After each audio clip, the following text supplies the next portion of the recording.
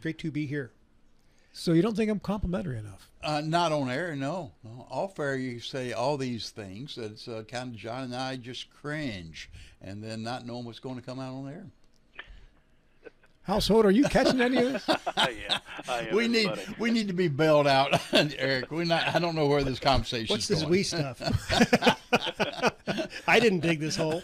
So, you But I need somebody to bail me out, John. nobody ever really knows what's said about them when they leave the room, unless you've planted a mic or a camera. Um, but so, in, in general, Eric, as you've known me for a dozen years, uh, is the general dis- decision when people talk about me that I'm a horrible, terrible human being, or more of a kind-hearted, generous person? I, th- I, tell you. I think you're kind-hearted, but by no means are you snarky like our good friend Senator Barrett.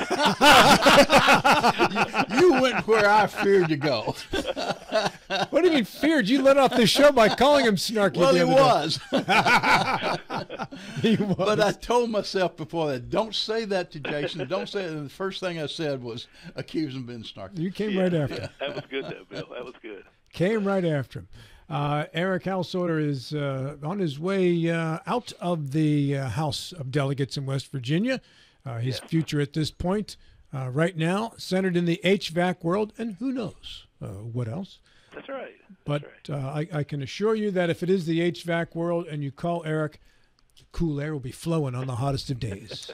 Boy, that's a that's a nice advertisement there. Well, let me tell you before we go into the meat of what we're going to talk about, our HVAC broke.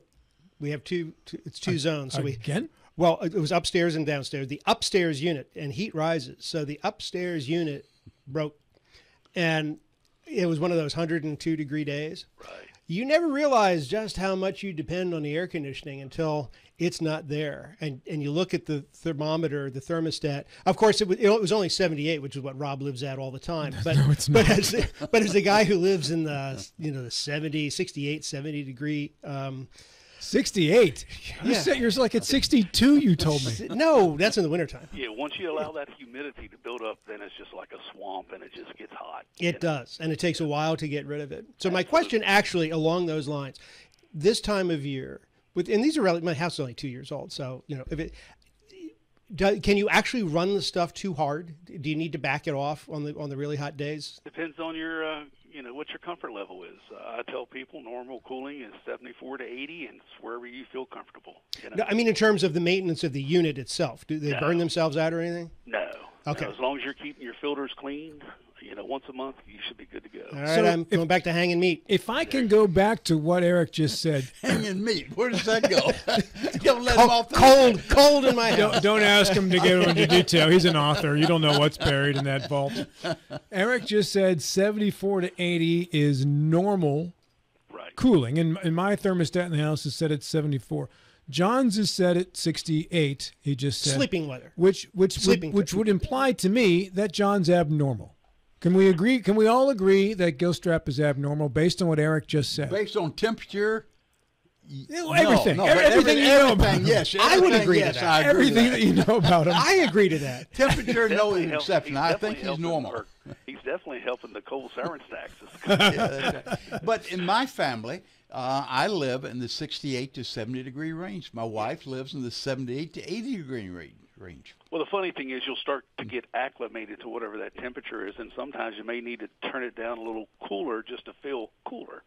So, you, you- I mean, your body reacts to it pretty quickly. Mm-hmm. So, And and the damage I do to the environment during the summertime, I make up for in the wintertime because I turn the heat off.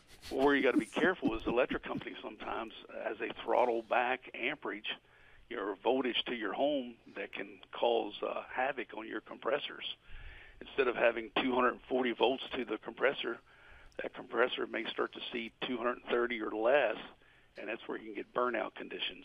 So, Throttle back amperage would be a great name for a band, by the way. I like that. Uh, Eric, let's talk money Sure. because uh, the state was basically break even for the first month of the fiscal year. We we spoke with Craig uh, Blair last week, the Senate president. He mentioned there was a slight surplus negated by the need to uh, transfer of some money. So effectively, it was kind of a break even month, right? And I was a little disappointed too with the report. That's one of the things that I want to talk about. I don't understand the underlying reasons why someone made the key decision to, to do what they've done. But let's just talk about the big three right now. The big three is personal income tax, consumer sales tax, and severance tax.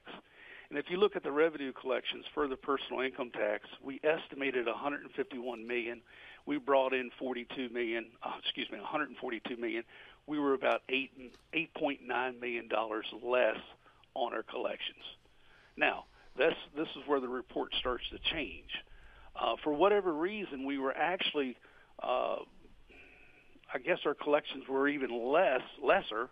Uh, they were right around about 16 million dollars less than what the actual report was generated because they decided they being the uh, the budget office and revenue secretary decided to make a withdrawal of seven million dollars out of the personal income tax fund and put it over into the collection side of the personal income tax, which negated us having a negative for the month. It actually gave us a positive of 4.9 million. Now, why they decided to do that, why did they decide to prop up this report and make it look good, I have no idea. I would rather that they had just reported the revenue collections as they were so we can have an actual, you know, number that we're dealing with instead of trying to prop up a report. But that's what they did for the personal income tax. Eric, so, excuse me, let me interrupt yeah. very quickly. Yeah. Uh, who they being the the governor's office or being the legislators or who? Oh, I would say it would be a combination of all three: the governor's office, the budget office, and the revenue uh, secretary. Someone made a decision.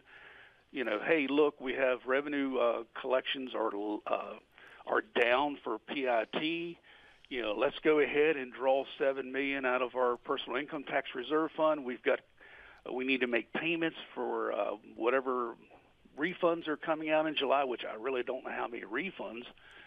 You know, I think most businesses they can uh, postpone their taxes until September, but I don't know why July. But anyways, they decided to pull seven million dollars out of the personal income tax reserve fund.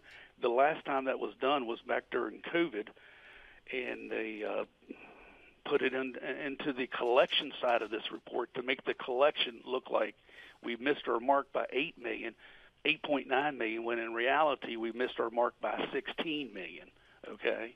Well, that, So- that's playing games and that uh, is chal- games. challenging the credibility that we should have for the uh, our, our revenue reporting.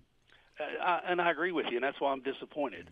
Now, consumer sales tax, um, we estimated 94.7 million. We collected 92.6, so we were about two million dollars low. No big deal. Severance tax, we estimated for the month of July 4.4 million, and we collected 3.1 million. Now, the biggest underlying, um, I think, of why they did what they did was because of the severance tax. Uh, every quarter, we have a coal County real- reallocation uh, that happens to 19 coal counties, and uh, that was about, I believe it was like uh, 3.3 million dollars that these 19 coal counties get a get an apportionment of the severance tax that's collected, and then also there is a uh, 75 percent uh, distribution to those same 19 uh, or yeah 19 counties, and then there's a 25 percent distribution that gets paid out to uh, a lot of counties and cities and that's generally and that's paid every quarter and that's generally around 7.5 million dollars. So i think the 16 million that we were possibly low on the personal income tax they used to have to pay the uh, the the coal County severance tax and the 75% and the 25% distribution. Does that make sense?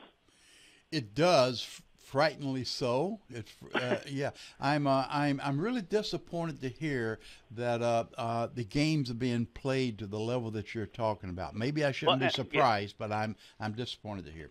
I mean, I'm just I'm shocked like everybody else. Why would okay? Why not just report to us that your personal income tax was 16 million dollars low?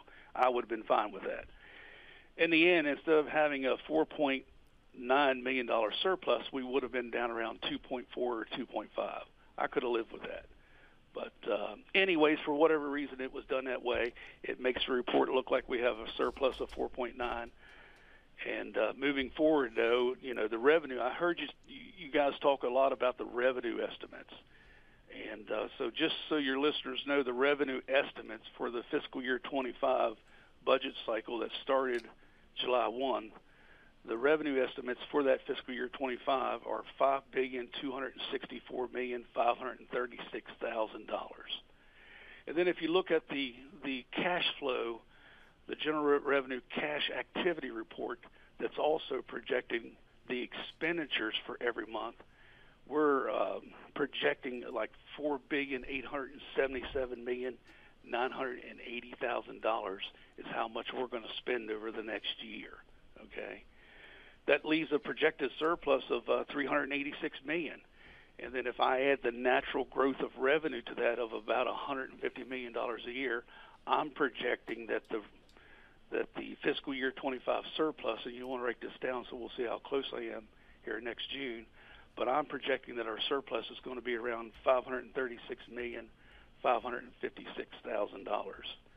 So, in order to achieve that, we're going to need to hit about 49 million dollars uh, surplus every month. Eric Householder on this date, August 5, projects a 536. That's interesting. 536 and a half million dollar surplus for next year. And Eric, that that is that uh, taking into account the four percent trigger for a tax cut? It does. It does. Now, how about the nine percent the governor wants to do? Uh, no, no, I'm not even factoring in. I, from all indications, I don't even know if that's even going to get across the finish line. So let's just assume that we're going to get our four percent trigger, and um, and move on. You know what I mean? Yeah. Right. How would you how would you vote on the uh, other nine percent? I would probably support it, but uh, I would want to make sure that there are some things. Uh, I know I've heard President uh, Blair several times on your on your radio station uh, talk about certain liabilities. Uh, I would make sure that I would shore up those liabilities by taking this surplus that we have, this six hundred million dollar surplus, and banking some of that money to cover those liabilities that, that he's concerned about or others are concerned about. And that's one of the ways to do it is it the extra income? The governor's proposed extra income tax uh, cut. Is that a irresponsible thing to do? A less than responsible thing to do? I don't think so. I mean, I think it's doable if you, and and I've mentioned this before, with this surplus, this projected surplus, if you were to take 200 million off the table and park it into that personal income tax reserve fund, I believe you could do it very well, very easily. Okay. But, um, go ahead. But and I, I, believe Craig said Craig Blair said that that would then take teacher five percent increases, five percent teacher pay increases off the table, right? He mentioned that, but keep in mind once again, you know the way that the trigger system is is developed, you can have up to five percent spending per year. Five percent spending is about two hundred and some million and you've heard me mention this time and time again, there's about a natural growth in revenue of about $150 million. And we're even seeing our own government use that in their revenue estimates because I just mentioned that our revenue estimates for fiscal year 25 was $5,264 million. Well, last year, our estimated revenue estimates were $5 million, 100 and, or excuse me, $5 billion, 120 million. It was a difference of about $143 million. So that follows that natural trend of about $150 million a year just in natural growth and revenue. So you could conceivably do one more pay raise, um, and I don't see that, that there would be a problem. But once again, your last segment, I think you, you touched on this, is government spending. I know, Bill, you raised some key issues. John, you raised a lot of great issues. But that is the key. If you keep your spending with under the five percent, I think you should be able to do the extra five percent that the governor is asking for. Our guest is Eric Householder, and Eric has just predicted a $536.5 million surplus for this upcoming uh, fiscal year. Eric, being is that you're on the way out, mm-hmm. right, you can freely state a few things that others who are looking for reelection can't. For instance, if you're hoping to be reelected, the odds of you opposing a uh, a lesser tax break uh, probably uh, pretty strong because you're running for reelection. Right? So you're you're going to want to go along with the biggest tax break possible heading into an election. You don't want to be known as the the, the delegate who said no, you only can have four percent and not nine percent. Do, do you agree with that statement? And and do you think that your the, the folks you're leaving behind are fiscally prudent enough to understand the ramifications of 4% versus 9% and what it might leave the new governor on the hook for? Uh, yeah, well, to answer that question, I do believe that people respect uh, others who will be truthful with them. So if, if you're going to tell constituents that, hey, look, we can't afford this tax cut, people understand. But what you can't say is we can't afford this tax cut and then increase your spending levels and do other things with it. That doesn't set well with with uh, most constituents. But uh, look, I, I found the best course of action is is just to level with people. If you can afford a tax cut, and, and as long as you that you don't have to raise taxes, people will understand. But uh, I, the biggest thing that we've got to decide as a legislature that I've been harping on it are what are the priorities? What will our priorities be? Is it education? is it welfare reform or whatever that case may be you've got to sit down as a legislature and decide what your priorities are and that's what dictates how you spend the money we had a conversation uh, i guess it was last weekend when you were at my house and we talked about uh, some of the obligations that the state has in regards to those in need and you mentioned that uh, and maybe you could explain this better uh, or more fully to our audience uh, we eliminated the waiting list in West Virginia. Right. And that created a fiscal responsibility that the state now has to bear. What did that mean? Well, it's the IDD waiver list. In fact, you hear one of your co-hosts, um, Michael Haight, talk about it. Um, the governor, back in his first term, decided to clear the waiting list. We have a pretty um, um, general benefit when it comes to the IDD waiver program. And uh, so the governor, at, back in his first term, decided to clear that waited, waiting list, and we brought more people onto the rolls. When at the time, what we should have done was uh, probably expanded the provider payments, which we've never done.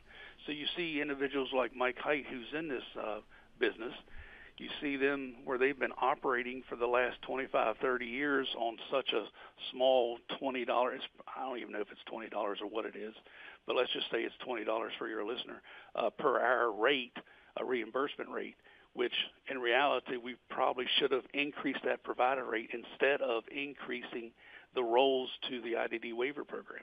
And those are decisions that have to be made if if the legislature is deciding that we are serious about cutting taxes and that we're going to give money back to our constituents, then you've got to make a decision. What are the core principles or core things that you want to focus on and prioritize and spend your money on? Because you can't do both. When you say cleared the list, what does that mean? That nobody on the list got benefits, or everybody on no, the list no, got no. benefits? Uh, so I'm making this number up because I don't know the, the exact number. Say we had 30,000 individuals that were already in the IDD waiver program. There could have been 10,000 more that was on the waiting list. So we took in those 10,000 and we we we cleared the list so there wasn't anybody waiting. So we increased the uh, the amount of people that are on that are in the IDD waiver program. Did that increase the number of people who moved into the state to get on that list so they could get benefits, whereas they might not have in other states? Actually, yeah, you're bordering uh, states like Ohio, Pennsylvania if if uh, our reimbursement rates are higher than those other states, then obviously it's going to be more attractive, uh, you know, to have um, your, your children or, or your or an adult on the adult side. It's the ADD program, but um, yeah, we. I just think it was bad that we increased or cleared the waiting list when we probably should have increased the provider reimbursement rates. Yeah, Eric, I'm going to ask a question that's unfair and one that you probably will not want to answer. Okay. Uh, you've uh, over the years you have developed a, I think, a very impressive reputation of being both exceptionally knowledgeable and also uh, very frank and very open. And I, for one, appreciate that much. Uh, you also, uh, I think, have skills and experiences that would serve us well uh, in West Virginia in some role of the government. And also, I realize you have a very close relationship with uh, uh, with with Patrick Morrisey, which uh, in all probability will be the governor. putting these together, if you have a choice, what role would you see Eric Householder playing in the next uh, next three or four years? I never gave it much consideration, to tell you the truth. Um, you know, I've mentioned before that if I got a phone call from our next governor to be, if it is Patrick Morrisey, we would have to sit down and have a conversation to see what role he would even consider me at, and uh, that we just would have to wait. Uh, right now, there's been no conversations to that regard. Uh, there has been none of that, and uh, but I mentioned before that you know, I wouldn't mind helping out Patrick if I could. If if he feels that there's a need out there for me, then yeah, I'd like to sit down and talk with him and see what that need may be.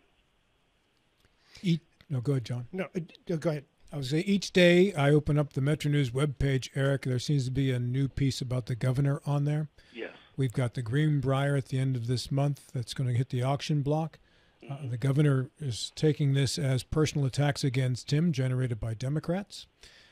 Is there concern among the legislature about the governor of West Virginia's financial health?